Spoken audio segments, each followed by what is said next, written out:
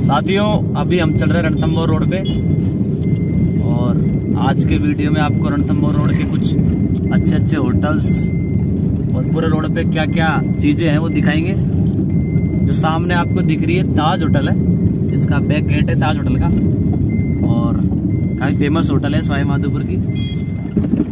और यहाँ पे जो भीड़ दिख रही है, कुछ ट्रेवल एजेंट्स रणथम्बोर में लोग बुकिंग करने सफारी करने तो उनकी बुकिंग यहाँ से की जाती है। कई लोगों की ट्रेवल एजेंट की दुकानें हैं यहाँ पे।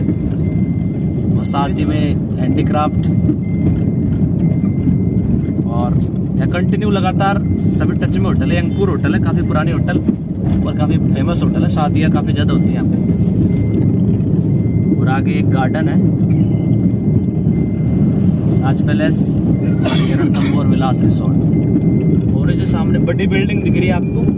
ये भी साई माधोपुर की काफ़ी नामचीन और बड़ी होटल, रिजेंटा। रिसोर्ट वन्य मेल की वन्य मेल नाम से। और देखिए आप काफ़ी शानदार है। और ये ताज का एंट्रेंस गेट है इधर से स्टाफ का।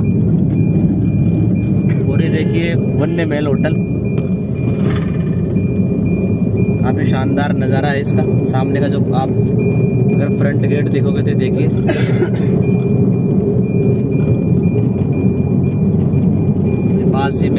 अनुराग पैलेस।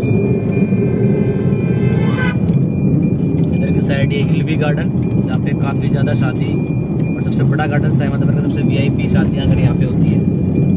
और ये रणथम्बोर रोड पे एकमात्र पेट्रोल पंप है, जो भी ट्रांसपोर्ट की सुविधा अगर लोग इधर पेट्रोल वेट्रोल के लिए काफ़ी आते हैं, बाहर है।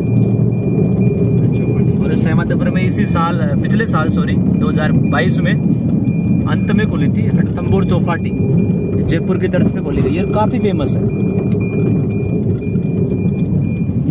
आगे चलते हैं। साथियों, काफ़ी फ़ेमस रोड है और ये है रिजेंसी होटल काफ़ी पुरानी होटल सवाई माधोपुर की।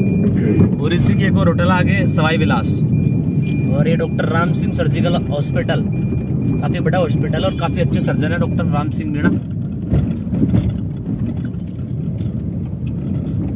और जिला मुख्यालय से करीब चार पाँच किलोमीटर लंबा ये रणथम्बोर रोड है, जहाँ पे सो सो के अप्रोक्स छोटे बड़े होटल्स बने हुए हैं। और जो भी बाहर के टूरिस्ट आते हैं, वो इसी रोड पे रुकते हैं सब। छोटे छोटे रेस्टोरेंट